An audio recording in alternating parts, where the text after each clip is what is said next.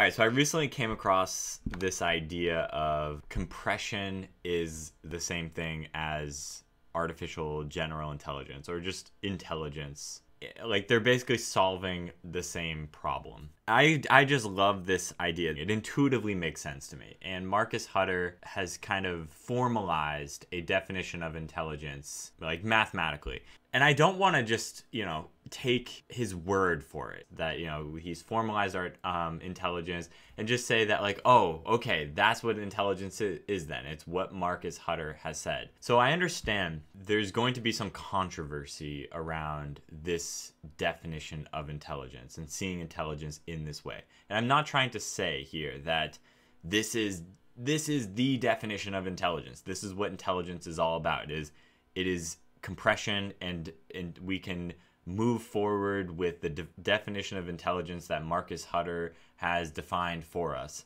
That's not what I'm saying. What I am why I am interested in Marcus Hutter and his definition of intelligence is because it gives us something to go off of and it, it at least gets some interesting ideas moving. So for me, as a um, budding researcher, entrepreneur, engineer in the space of artificial intelligence and software engineering, I hear something like a you know, the ideas of Marcus Hutter and it is inspiring. It is inspiring for me on a practical level as well as on a bigger like philosophical level on like a big picture and the ultimate direction of things. So I, I want to talk about those two those two parts of the puzzle. So first of all, let's just let's just go with this idea of intelligence is the process of compressing, of compression. If we just think about the systems that we live in and we are a part of, the human systems that we are a part of, think about the world right now in 2020 um, with with all that's going on with COVID and the influence that that's having in our political systems as well as um, in our economic systems there's so much going on right now. There's so much information, and the worldview that you're operating with in this time really comes down to your ability to take in this information, maybe selectively. You know, maybe you want to filter out some of it, but take in information nonetheless and compress it into some meaningful representation, into some meaningful story. And then that's the lens that you are seeing the world through that's very difficult to do. It is, it's extremely difficult to do, and I think it's becoming even more difficult. I think we can we can stop saying that it's becoming more difficult. It's because the world right now we are at this like peak point. We are at this moment of time where there is an insane amount of information coming at us and I think we might have hit our peak. I don't think we can really get much more. If you think about like the access to information that we have through the social media apps, I don't even want to call them social media apps. Let's just say technology. The access to information through technology and the systems that have been developed to to feed us this information in a way that um, it's it controls our perception, even if it's very it's it's almost it's sub subconscious almost because we we aren't even fully aware that it's happening but it is happening. So the system there's such a, a flood of information and there's massive amounts of uh, technological systems that are directing the flow of information towards us and doing so in an intelligent way I don't think that we can we can get any bigger. Like the floodgates can't get any bigger. I don't think that the the transfer of information coming in is going to increase because the we're starting to hit limitations on our own ability to receive information. So you you could alter the technologies, you can make more information available on the technological end, but the reception through our brains is is just hitting a peak and the peak is re- it really has something to do with like our ability to just maintain sanity because this flood of information is breaking down our psychological well-being. So this is um, something that uh, like has recently been introduced into the public sphere of information in a more mainstream way through the the documentary The Social Dilemma. I think many people were already aware of many of the points that the social dilemma is bringing up, but the social social the social dilemma is formalizing uh, the those ideas and putting it into a very easily digestible format for many people to take in and to then have discourse about those topics. So now we have this we have this understanding of what the tech companies are doing to us. And you know, there there are a lot of issues with the information information censoring, but the main point that I'm talking about is just the fact that it's there. The fact that we have all this information. And you as an agent operating in the world, you want to develop a world view, some perce- a perception of, of the world that you live in. Well, your job as an agent is to take all this information and to compress it into some meaningful format that you can easily digest and upload into your own brain um, as as a part of your lived experience. That's an important part, I think, of of being an intelligent agent is that you you need to you need to compress the information but then put it into use put it into practical usage. And i think that just thinking about intelligence in general that that's that kind of seems to be what's what's happening that you put you create an agent in in artificial intelligence um, and this agent is is operating within some world with with some specific set of goals. Because if, if there are no goals there's no there's no real um, there's no way of uh, of creating models of the world that the agent is living in. Then it's just chaos and there's no there's no need for artificial intelligence. There's no need for that type of emergence to occur. But if there are a set of rules to operate by then you can you can start to develop goals and you can start to formalize those goals. And thinking about us uh, you know, we we are living in a world. We are living in a world that has been constructed, partly, I think, uh, as a byproduct of of just this of the complex system of human beings living and, and operating together with on the world that the the world that we live in is is emergent from this complex system but we are trying to operate within this complex emergent system. And as an agent, you know, your goal first is just to figure out what the heck is going on here. What is happening here? And what how do I choose the rules by which to live? How do I choose the set of actions that I need to take. So the the mindset that I've kind of been operating in has been this one of capitalism. I see the world in sort of in a capitalistic perspective, and the actions that I think about taking are lar- in large part related to the market and success in the market. I want to take actions that lead to success in the market. And if you think about like the games that we play as as intelligent agents, one of those games is uh, your movements in the market.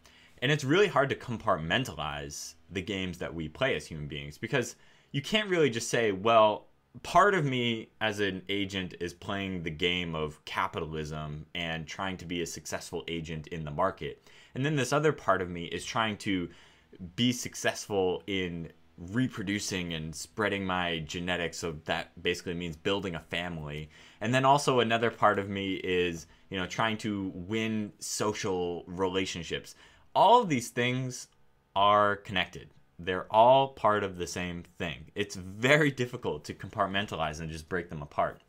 They're all part of the same thing. So if your your choice is around being successful in the market, you're you, you might be doing that in order to increase your probability of building a successful family. and having those relationships. There might be some value that you're generating for yourself that's going to make you um, more likable by others and therefore more likely to find a partner to to build and grow your own family with. So uh, your ability to take in the information of the world and to compress that into a reasonable story by which to live and then put that into production as it as it were which is basically putting that into your brain you know embedding that into the biological structure of your brain so that you can just push go. Like your your living your lived experience is then uh, seeing how that model plays out. And i think as as human beings as agents we are constantly needing to reconstruct deconstruct our models of the universe. And some people are good at that some people aren't good at that and you know different different people or different agents are, seem to be good at different parts of this problem. Like some people are are have the ability to formalize a a very solid model that uh, to like a very solid set of principles to act in the world and to be successful but maybe they don't really have the ability to deconstruct that model and to see things in a different way and then there are there are those who maybe just can't really seem to get that model right, just can't really get that model working correctly, but they have the ability to rapidly deconstruct their model and uh, and then plug in a new one and just do this trial and error and, and find really successful strategies of winning that way. One of the things that I've seen in my life, I'm 30 years old now, and one of the things I've seen is that as you're when you're younger, the model that you're operating with is much more fluid, and it's way easier to change it. And in fact, it's it's like not even really permanent. It's it's changing all the time by itself. It's just being updated constantly by itself. Uh, and one of the things that happens is as you get older is that the model sort of stays locked in place for longer, and it's a little bit more difficult to pull that thing out and do like retrain your model on n- new perceptions of the world. You kind of get locked in to your to your percep- uh, to your to, to the model that you're operating in. And the the main issue with this is that now all the data that's coming in to your system is being filtered through this model. And so all of your data is biased data now. It's it's going through your your model. And if you do any type of updating on your model, it's with your biased information, it's with your biased data. So being able to to take out your perception and reach and and think in a new way that's that's a really important skill to to gain and and perhaps you know I'm correlating it with age but maybe uh, there are methods for learning to to to this as a skill to take down your model and to update your models of the world. I think that the ways to do that would be things like meditation, uh, where you it's meditation is a very very long process. Like you can't. It's, I'm not saying like you just sit down and meditate for an hour and all of a sudden you're going to be able to shift out your mental perception of the world and update it with a new one. That's not how meditation works at all. But meditation the skill that you can gain and the understanding of how your own inner system works uh, that that is acquired through years of practice usually.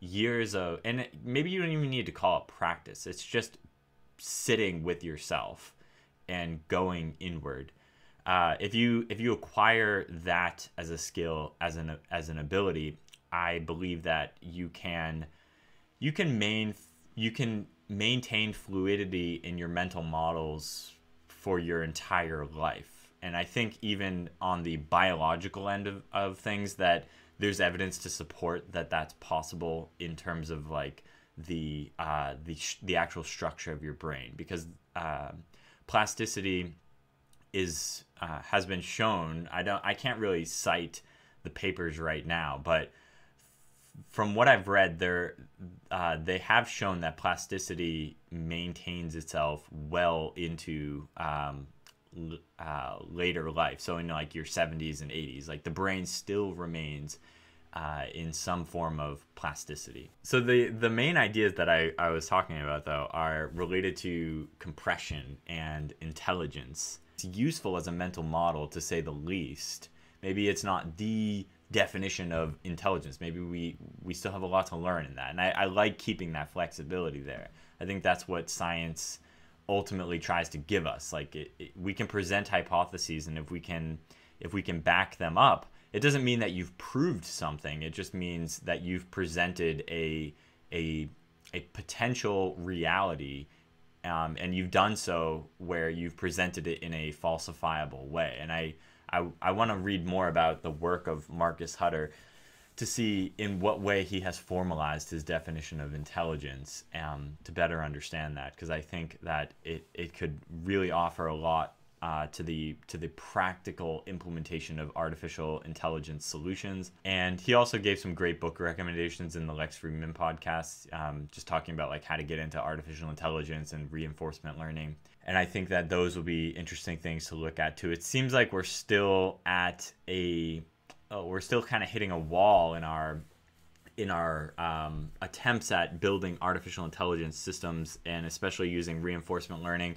and the wall that we're hitting um, it seems like has to do with the computation the the memory footprint of some of the models that we are creating just in general the efficiency of the computation that we are that we have available to us. And i think also the amount of data too because even if you think about us like they they it's so common that i hear this where they talk about like human beings being this general intelligence system where you only need to show limited amount of data right? You only need to show me a few examples of of numbers and i can learn like you don't need to show me millions of pictures of the number 1 for me to learn that that's a number 1 but what it's missing out on is the fact that my brain uh, has evolved over millions, maybe even billions of years. I don't know the exact time frame, but we have to go back to like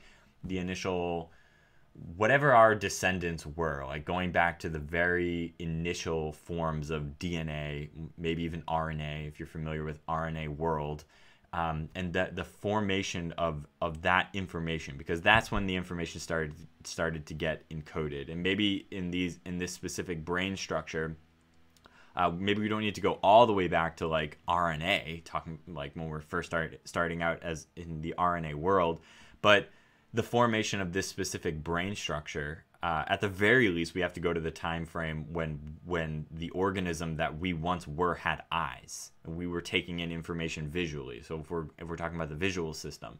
So at that point in time we started to imprint uh, some information pattern recognition and that system uh, had the opportunity to to evolve and to learn and to try out different variations. And there's there's like uh, a genetic algorithm at play too where it's like forking itself out and it's trying out different different um, different variations among offspring.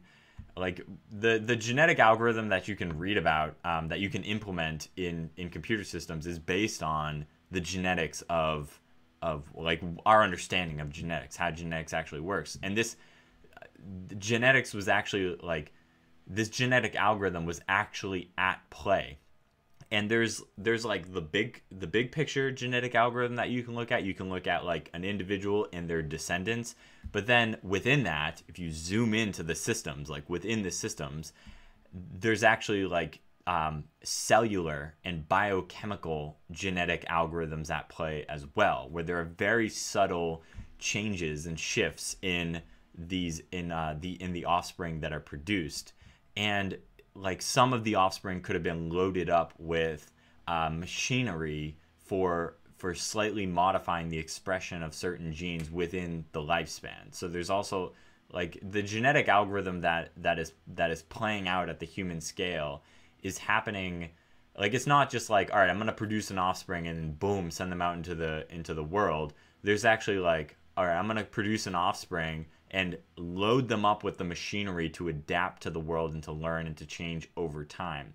So when we're taking an example of human beings being able to learn from limited amount of data, we're not talking about the same algorithms that we're that we're teaching uh, you know with MNIST dataset. We're talking about algorithms that that are operating at multiple scales. And this is difficult for people to think about. It's happening at multiple scales. It's happening at a cellular level, it's happening at a biochemical level. And if you really go down to like if you keep going down in biochemistry, it basically becomes physics. So it's happening at a physics level as well.